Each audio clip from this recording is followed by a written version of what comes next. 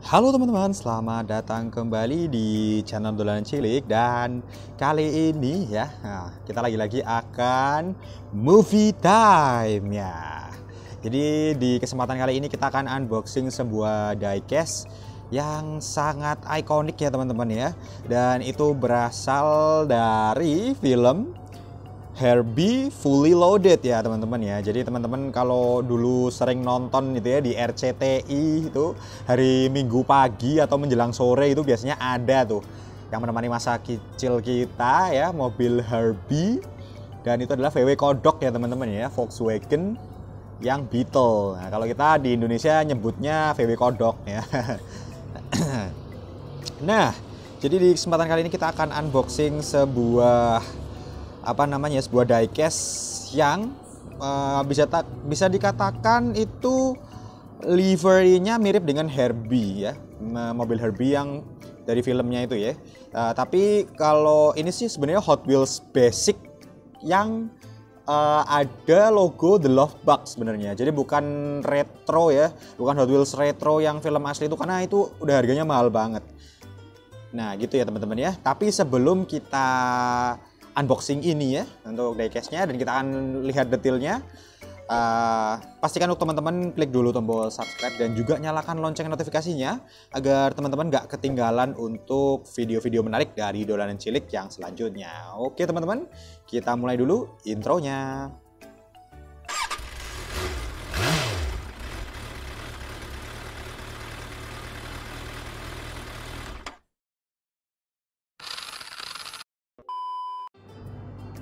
Nah, jadi di kesempatan kali ini kita akan unboxing bareng-bareng ya teman-teman ya. Uh, dan ini sedikit cerita aja teman-teman. Kenapa kok saya uh, belinya yang loose? Karena untuk yang masih ada packagingnya atau yang masih ada blisternya itu harganya kalau menurut saya sudah tidak masuk akal ya teman-teman ya. Kalau teman-teman cari di online itu yang paling murah untuk pakai blister itu bisa sampai 80.000 hingga 100.000 teman-teman. Dan untuk Hot Wheels basic menurut saya itu udah nggak worth it banget. Jadi uh, saya cari yang lelangan teman-teman. Dan itu uh, nanti bakalan tak reveal harganya tapi nonton dulu sampai akhir videonya ya teman-teman ya.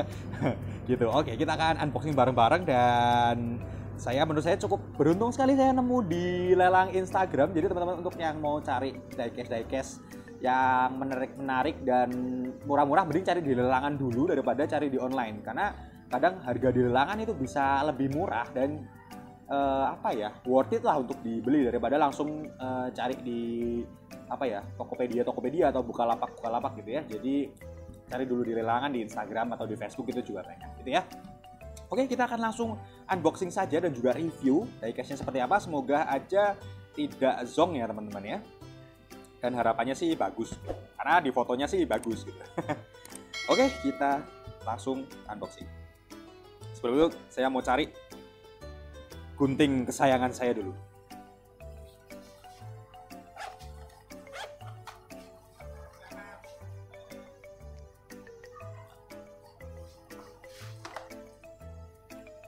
Ah, ini dia gunting kesayangannya sudah datang kita langsung cepetin aja ya teman-teman ya biar gak kelamaan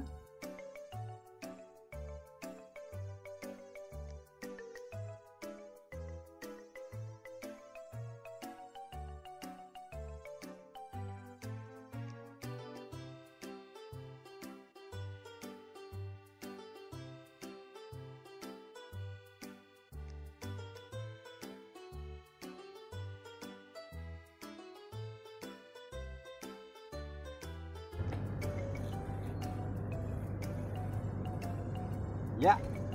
Waduh, berantakan, berantakan. Ini sudah keluar teman-teman. Kita singkirkan dulu untuk apa namanya ya, biar kelihatan rapi teman-teman. By the way, saya lagi unboxing itu di resto ya teman-teman ya. Kocak banget ini karena pengen ngejar aja sih ngejar tayang sih sebenarnya sih karena nggak punya waktu untuk di rumah ya kita unboxing di resto ya semumpung ada waktu jadi kita unboxing saja oke nah ini teman-teman ini adalah diecast yang berliverikan Herbie ya Love Bug atau Herbie Fully Loaded. Nah, jadi kalau teman-teman sering nonton itu dulu di RCTI ada ya filmnya. Waduh, klasik banget sumpah. Akhirnya datang juga yang aku harapkan ya. Ini dia, waduh, masih kinclong teman-teman, luar biasa. Wih, mantap ini teman-teman ya. Wah, ini masih kinclong banget ya teman-teman. Kalau teman-teman perhatikan ya, ini lighting saya dari sebelah ya. Maaf teman-teman.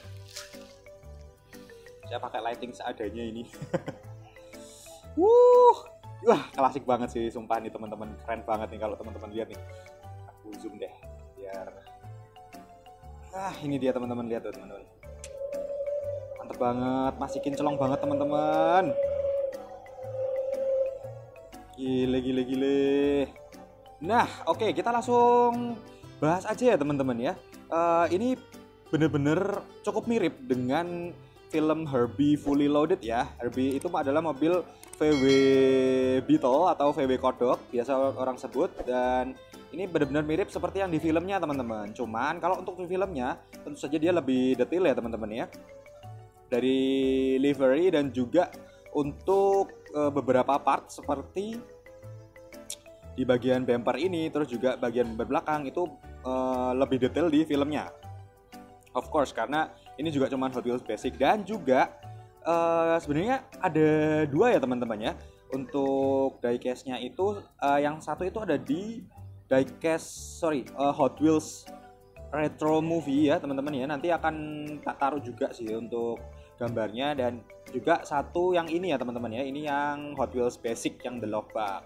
Gitu teman-teman. Nah kalau ini sih uh, bisa teman-teman lihat ya. Mulai dari ban ini juga cuman yang basic-basic aja ya teman-teman ya. Uh, ini bannya ban biasa lebih uh, apa ya namanya ya lebih besar yang belakang dan nggak sama untuk proporsi depan sama belakangnya ya lebih besar yang belakang gitu ya untuk ban. Terus kita juga bisa lihat teman-teman ini nomornya 53 wah mantep banget sih ini sih. Tapi aku seneng banget jujur baca akhirnya dapat juga diecast ini. Oke ini teman-teman bisa dilihat lah bagian depannya seperti ini teman-teman. Ada lampu dua ya. Saya nggak ada lampu sen dan anu, lampu sen cuma di belakang sini teman-teman ya. Nomor 53 teman-teman bagian atas seperti ini teman-teman. Lihat ya ini bagian atasnya. Dan juga di bagian bawah seperti ini ya teman-teman ya ya sudah lama teman-teman. Made in Malaysia tahun 1988 teman-teman. Ya itu teman-teman. Dan aku senang banget sih bisa dapet diecast ini ya teman-teman ya. Oke, ini dia teman-teman untuk detail dari penampakan si diecast The Love Bug Herbie ya teman-teman ya Volkswagen Beetle ya. Jadi di sini teman-teman bisa lihat saya lagi ini biar lebih jelasnya gitu ya teman-teman ya. Uh, seperti ini jadi untuk diecastnya ya. Uh, kurang lebih untuk livernya di sebelah sini. Ada tulisan nomor 53 juga ya teman-teman. Ban depan sama ban belakang beda uh, untuk dari apa namanya uh, besar kecilnya lebih besar ban belakang dan paling kemungkinan juga bakalan tak custom ya untuk bagian depan sama belakang biar lebih mirip sama si diecast uh, Herbie-nya ya. Karena yang ini memang bukan yang versi film teman-teman. Ini cuman yang apa namanya Hot Wheels basic biasa. Nah, gitu ya teman-teman ya. Untuk detail lebih dekatnya gitu. Nah jadi kurang lebih seperti itu ya teman-teman ya untuk si diecast uh, apa namanya Volkswagen Beetle ini ya teman-teman. Uh, dan ini menarik sekali sih karena dia sangat ikonik banget di film Herbie Fully Loaded karena dia dia sepanjang film menceritakan soal Herbie ini menolong si Maggie Payton gitu ya dalam usahanya untuk uh, mendapatkan juara NASCAR dan juga menjadi uh, pembalap NASCAR pertama wanita ya teman-teman. Apalagi dia naiknya naik uh, VW Kodok gitu. Uh, pokoknya nonton aja itu filmnya lucu banget unik banget dan juga dapet si diecast-nya ya teman-teman ya. Ini yang mirip cuma liverynya aja sih teman-teman. Tapi overall it's good uh, dan murah. Itu yang paling penting ya teman-teman ya. Oke okay. uh, paling uh, segitu aja. Oh ya untuk teman-teman uh, saya mendapatkan harga ini di lelangan itu seharga 30 ribu teman-teman. Luar biasa murah banget ya. Ini los dan masih bagus banget teman-teman. Bisa dicek sendiri. Dan saya benar-benar berterima kasih sama Om MJ diecast ya. Nanti uh, teman-teman bisa lihat aja. Nanti tak taruh juga linknya di bawah. Karena saya sempat tanya-tanya untuk si diecast ini gitu. Karena kan uh, Om MJ itu bener-bener banyak sekali diecast-diecast yang bertemakan film ya. Mobil-mobil yang bertemakan film. Jadi uh, makanya saya langsung tanya ke dia untuk sarannya gitu. Dan ternyata mending disarankan uh, cari aja tuh di lelangan gitu. Dan ini juga saran untuk teman-teman yang mau cari-cari diecast diecast yang murah-murah saran saya juga cari dulu di lelangan. Jangan langsung beli di online ya teman-teman ya karena kadang harga online itu aduh uh, bener-bener nggak masuk akal lah. Apalagi untuk ini untuk Hot Wheels Basic itu harganya mahal banget lah udah 100 ribuan gitu. Dan saya mendapatkan ini dengan harga yang sangat murah 30 ribu dapatkan ini? Mantap sekali. Gitu ya teman-teman ya. Oke mungkin sekian dulu review singkat saya untuk Volkswagen Beetle atau mobil Herbie ya si VW Kodok yang sangat ikonik ini. Jangan lupa teman-teman untuk like, komen, dan klik tombol subscribe. Dan ditunggu untuk video-video menarik dari dolanan cilik yang selanjutnya. Oke teman-teman, sampai jumpa, bye-bye.